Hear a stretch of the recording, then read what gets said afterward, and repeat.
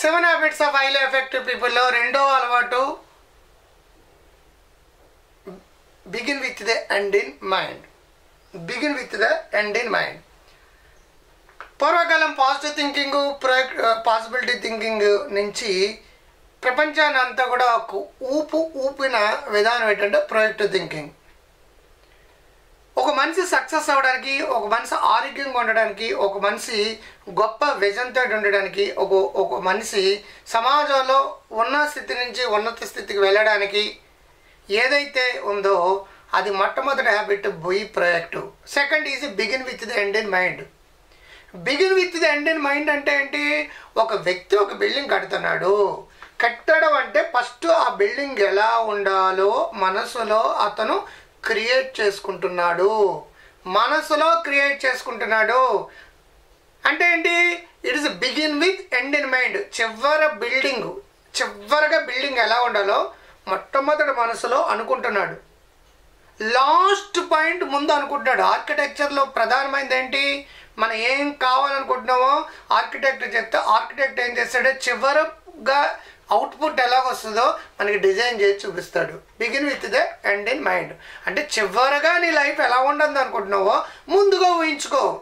దీని ఏమంటున్నావు? First creation అంటున్నాం అంటే it is called as mental creation what it is mental creation మనసులో క్రియేట్ చేసుకున్నది. దాన్ని ఏమంటానంటే ఫస్ట్ క్రియేషన్ ఈ ఆర్కిటెక్చర్ ఏం చేస్తాడు? డిజైన్ చేస్తాడు.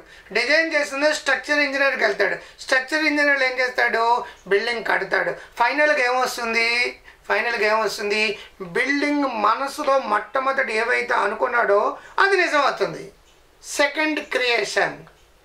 It is called as physical creation physical creation. Mental creation అంటే మానసికమైంది మనసుతో చూస్తున్నాడు. ఫిజికల్ క్రియేషన్ అంటే నిజమైంది నిజంగా బిల్డింగ్ రెడీగా ఉంది. ఫోర్డ్ ఉంది. ఆ ఫోర్డ్ వెహికల్ని ఫోర్డ్ ఎయిత్ ఎయిత్ క్లాస్ కూడా చదువుకున్న ఫోర్డ్ నాకు ఎలా కావాలని మనసులో ఊహించుకున్నాడు. Mental creation.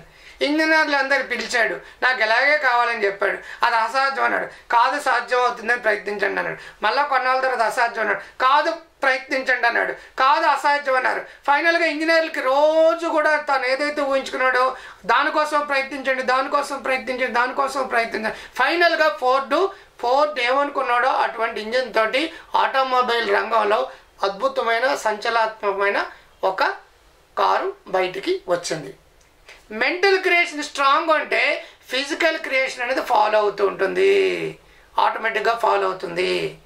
ఐఏఎస్ ఆఫీసర్ అవుతుంది అనేది మెంటల్ క్రియేషన్ అయితే ఫిజికల్ క్రియేషన్ అనేది కష్టపడ్డాం. ఫైనల్గా నీకు ఐఏఎస్ వస్తుంది.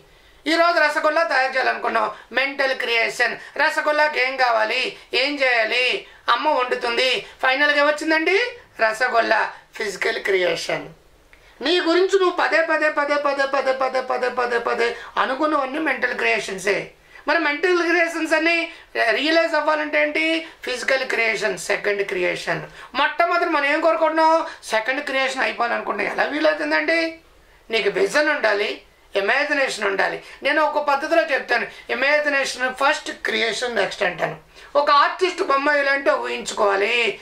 ఫస్ట్ క్రియేషన్ మెంటల్ క్రియేషన్ ఓహా ఆర్టిస్ట్ బొమ్మ వేసాడు second creation physical creation imagination first creation next cinema తీయాలంటే రాఘవేంద్రరావు కానీ బాహుబలి కానీ మా రాజమౌళి కానీ అందరూ కూడా first creation imagination mental creation is nothing but first creation ఊహించుకున్నాడు. Baahubali cinema చూసాం. Physical creation second creation creation negativity ఉంది. ఫస్ట్ క్రియేషన్ భయం ఉంది.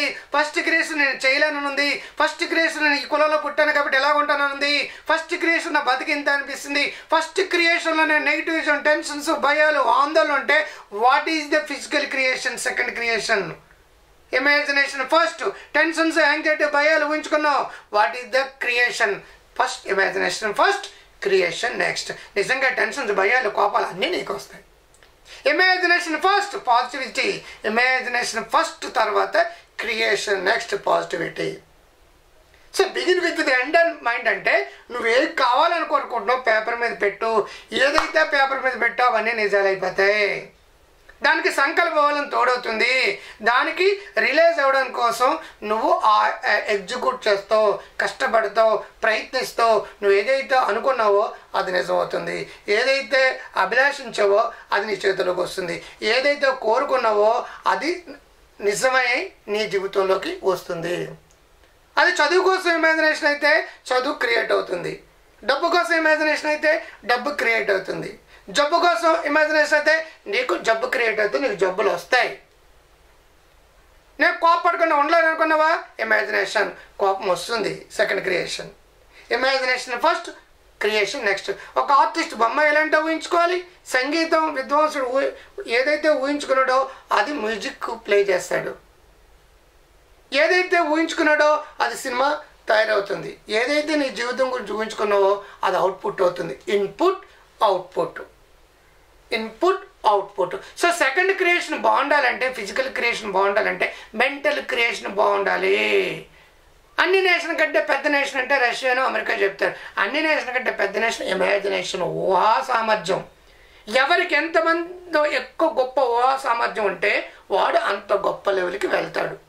ఎవడు ఏ లెవెల్లో సక్సెస్ అవ్వాలంటే ఆ లెవెల్లో ఊహించుకోవాలి.